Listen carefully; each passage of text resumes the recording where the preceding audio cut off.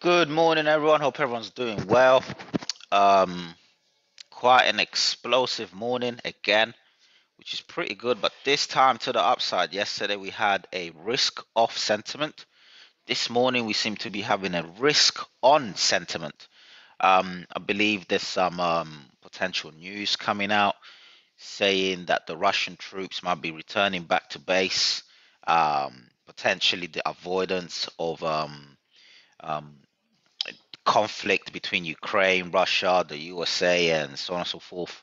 So um, that potentially means that the markets might be going back to normal, and um, yeah, we we might be going back into a risk on sentiment, which would um, clearly um, help push in risk on assets such as the euro, pound, Aussie, Kiwi, CAD, uh, the S&P 500, and as we've seen this morning from the German 30 as well.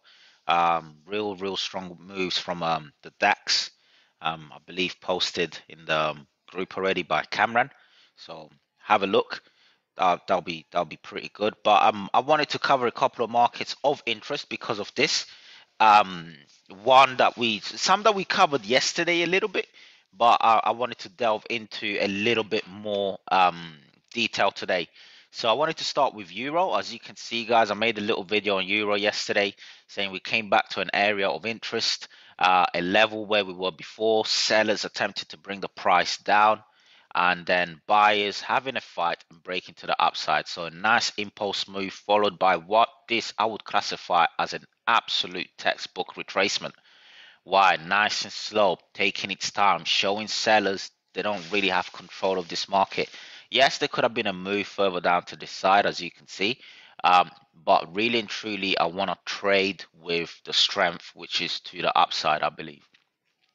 You normally see a quick dump move back into buying areas or selling areas and obviously for this context into buying areas and what's the things that we don't do we don't buy into selling areas and we don't sell into buying areas so clearly we were able to see that we created a nice, lovely formation on the four hourly.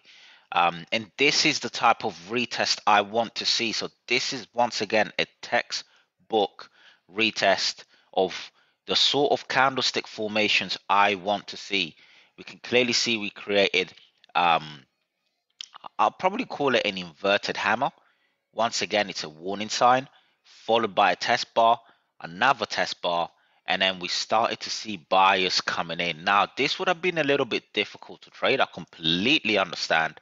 So potentially, I would have potentially taken a position here, frankly, potentially being stopped out, but I would have taken another position again. It gave me another test bar. It's showing me that buyers want to be in this market. So guys, don't be put off by the fact that you're potentially suffering a loss initially, but you're still getting another signal. Take the trade, guys. Take the trade.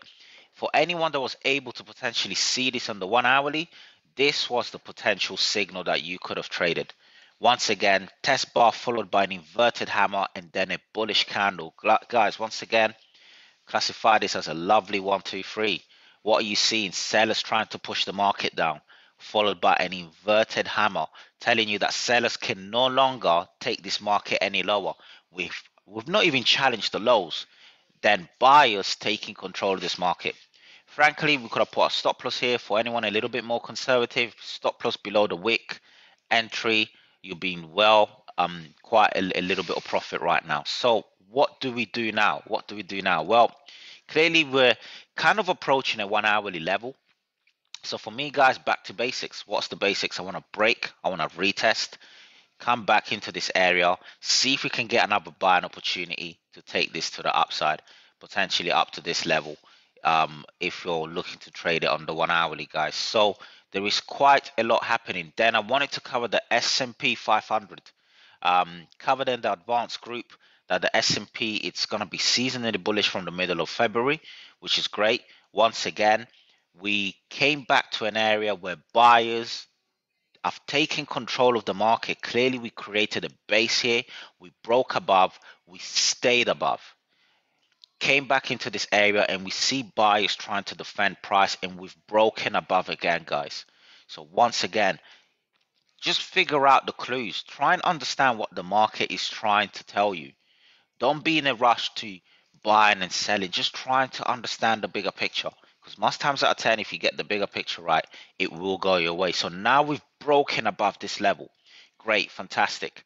Clearly, we can tell on the one hourly that price was halting here for a little while, broke above, created a base again. Sellers completely running out of steam and now we've broken above. So indices are bullish again. Fantastic good stuff. I would like to see maybe a little retracement uh, before the us open and then see another burst of strength to the upside that we can uh, take advantage of. So that will be also um, an opportunity to look out for which will be good. Um, then we are going to look at oil once again still messing me about oil still messing me about. Not really interested again. We might create, we might have created a um, hanging man. Who knows? We don't know. I'm only going to be interested until we break below the low for daily actual reversal moves. Now, if I was in a position to take this short within the four hourly or so, once again, guys, I want to be below the last buyer. Where is the last buyer? Here. On a break below that, we might be creating a extended double uh, top. Let's break below, get a retest and see if we can move to the downside. But till then, guys, I'm going to be staying put. I'm not going to be putting my money at risk.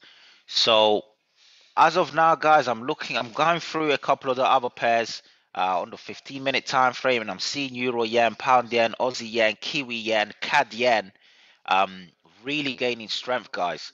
This is showing this is showing that we might have a risk on sentiment coming back into the market. Use these as clues you know. Um, I was having a coaching session with a student yesterday, and they were like, "Oh, how can we keep on top um, of what's going on with um, the news and relating it back to the market?" And I was saying, most times I attend, the market will let you know before the news actually gets released. Now, a way that I use um, the market to let me know whether we're risk on or risk off, which obviously we've been teaching you guys for quite a while. I tend to look at the yen pairs a lot. I tend to look at the S&P, the Dow Jones, and try and figure out who's gaining strength, what's going on, who's who's be, who's getting in power, and then I tend to use the Euro, Pound, Aussie, Kiwi, and CAD to also gauge um, if these um, risk on assets are also gaining strength against the yen and so on and so forth, guys try and couple up your instruments to try and figure out what the market is trying to tell you guys. Okay, that's it for now. I will be back with more videos through the day. Um, I'm sure that we're going to have a pretty good um, US session. Keep an eye out for the London session, guys. There might be continuation moves. Try and use the core strategy to get in and out, get in a couple of pips, smash and grab type of style, and then we'll go from there. Take care, guys. Have a good one. We will speak later. Bye bye.